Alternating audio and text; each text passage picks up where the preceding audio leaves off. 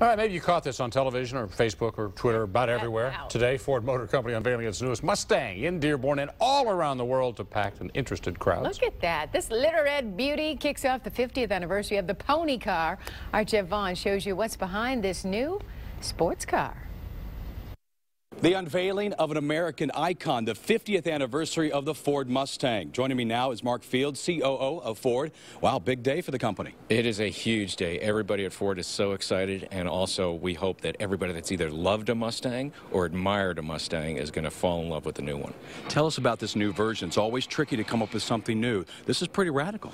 Well, you know, there's always a, a combination of a sense of pride and honor to work on the icon of the company, mixed with a little bit of angst because Yeah. you want to make sure that it's a success.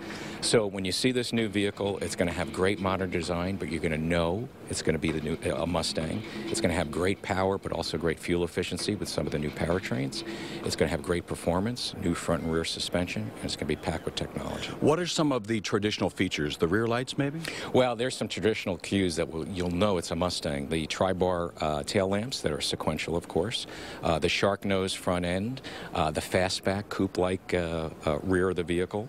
Uh, and also the interior, as the original was, inspired by uh, aviation. So you'll see large analog displays, uh, but also some toggle switches as well. It's really cool. Mark, congratulations on the new Ford Mustang. That is Mark Fields. I'm Jeff Vaughn for 7 Action News. Back to you, car lovers. Yeah. She'll take uh, one. I'll take my, I like the red one.